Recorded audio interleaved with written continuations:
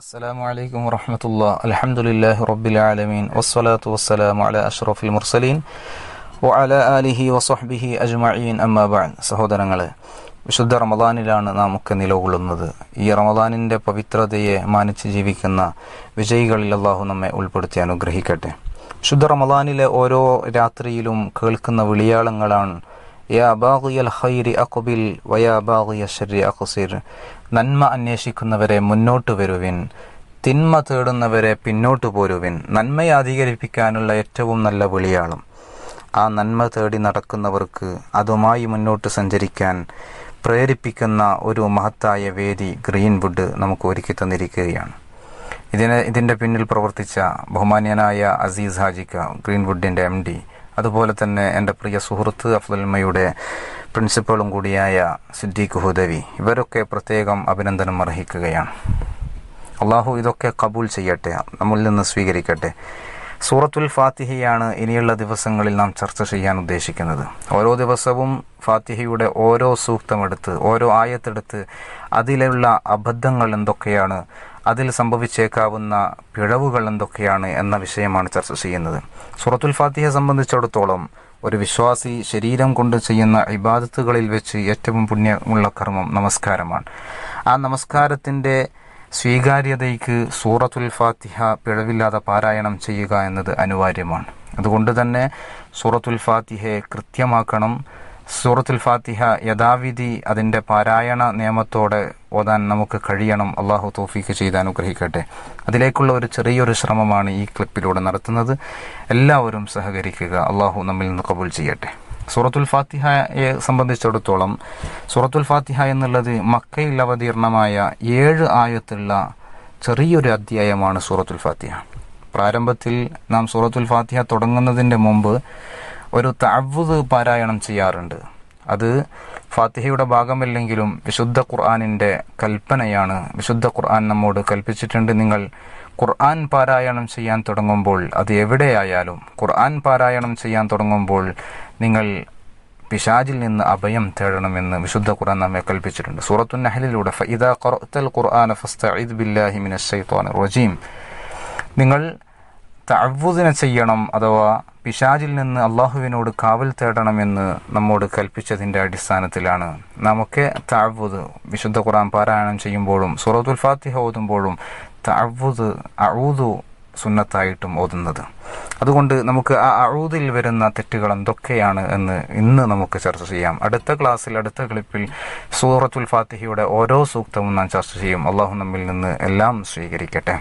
ബഹുമാനികളെ സൂറത്തുൽ ഈ അഴൂതുവിൽ എന്തൊക്കെയാണ് നാം ശ്രദ്ധിക്കേണ്ടത് ഞാനൊന്ന് അത് പാരായണം ചെയ്യാം أعوذ بالله من الشيطان الرجيم ഇവിടെ എന്തൊക്കെയാണ് ശ്രദ്ധിക്കേണ്ടത് അഊദു എന്ന പദമുണ്ട് ബില്ലാഹി മിന അഷൈത്തോനി റോജീം ഇങ്ങനെയുള്ള പദങ്ങളാണ് ഈ ഒരു ആയത്തിൽ കാണാൻ കഴിയുക അഊദു എന്ന പദത്തിൽ നാം ശ്രദ്ധിക്കേണ്ടത് അവിടെയുള്ള അക്ഷരങ്ങൾ കൃത്യമാക്കണം ആ എന്നുള്ള അക്ഷരം നാം ആദ്യമേ മനസ്സിലാക്കേണ്ട ഒരു വിഷയം ഓരോ അക്ഷരവും അതിന്റെ നിർണിത സ്ഥലത്തു നിന്ന് ഓരോ അക്ഷരത്തിനും കൃത്യമായ ഒരു സ്ഥലമുണ്ട്.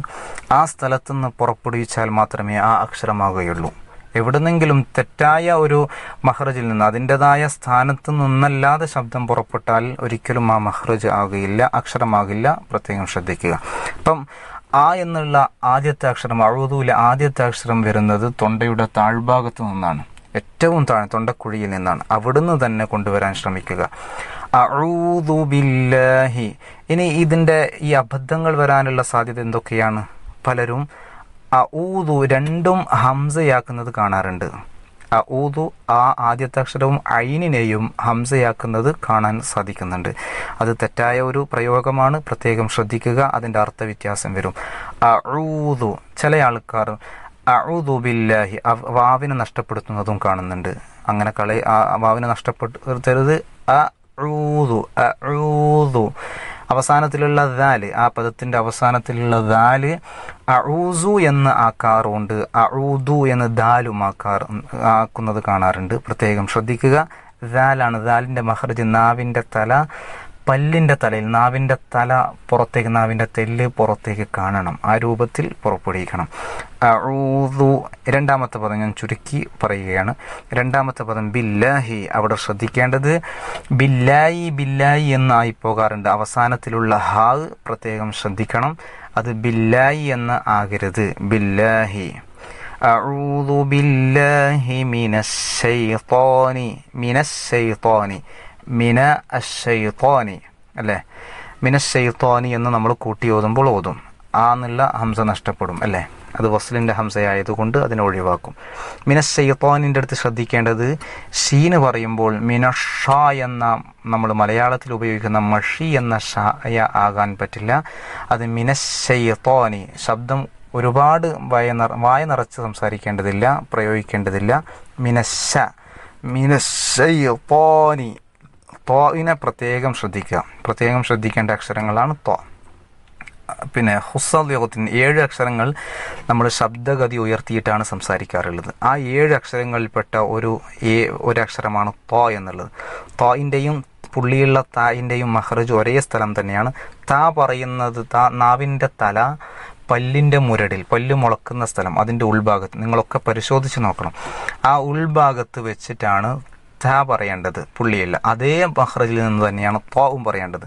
മിനശയ്യോ പിന്നെ താവും തോവും വ്യത്യാസം എന്താ? കാറ്റ് പുറത്തേക്ക് വരില്ല. ശബ്ദം ഉള്ളിൽ നിന്ന് ഇങ്ങനെ ഒരു തെങ്ങി നിറയുന്ന ശബ്ദം വരും അല്ലെ? തോ വായ നിറച്ചിട്ട് തോ തോ അപ്പം ഫ്ലാറ്റ് ആയിട്ടല്ല ശബ്ദം വരേണ്ടത് റൗണ്ട് ആയിട്ടാണ് ഷെയ് തോ ഷെയ്ത്ത അങ്ങനെയല്ല ഫ്ലാറ്റ് ആയിട്ടല്ല മിനശയ്യോനി റോജീം അല്ലേ? പിന്നെ ഷെയ്ത്തോന് റജീം ചിലപ്പോൾ അനൂനിന്റെ കസറിനെ ഒഴിവാക്കുന്നതും കാണാറുണ്ട്. ഷെയ്ത്തോന് റജീന് എന്നല്ല ഷെയ്ത്തോനി റോജീം അവസാനത്തെ പദമായ റോജീം എന്ന് ശ്രദ്ധിക്കേണ്ടത് റായിനെ റൗണ്ട് ആയിട്ട് ഉച്ചരിക്കുക. നേരത്തെ പറഞ്ഞതുപോലെ തോ പറഞ്ഞതുപോലെ ഷെയ്ത്തോനി റോ റ എന്നല്ല ഷെയ്ത്തോനി റോജീം അല്ലേ?